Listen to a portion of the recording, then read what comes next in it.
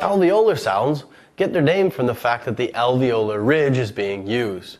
Again, that ridge is just behind the front top row of teeth.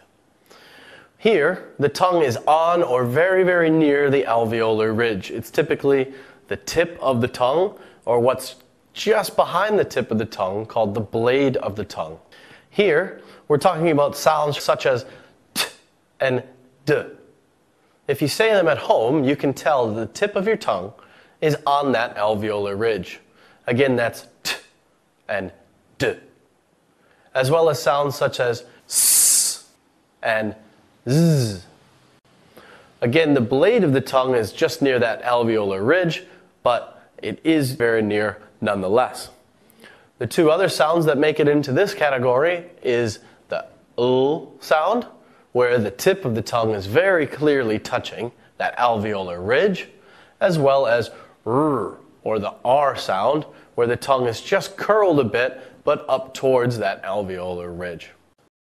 Palato-alveolar sounds have the tongue moving ever so slightly back in the vocal tract, but not quite back to the soft palate. If you compare these sounds to those of the alveolar group, you should be able to feel this difference with the tongue moving just a bit slightly back. The sounds in this group include the SH sound of sh. Closely related to that is the zh sound, as well as our CH, ch, and j sounds. Moving further back, now we have our palatal sound.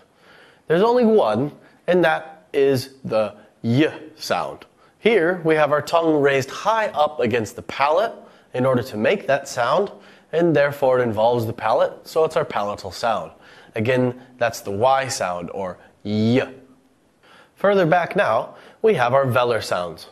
They're called so because they involve the tongue being raised against the soft palate, and we have a few of those sounds as in k and g, as well as the ng sound is made here.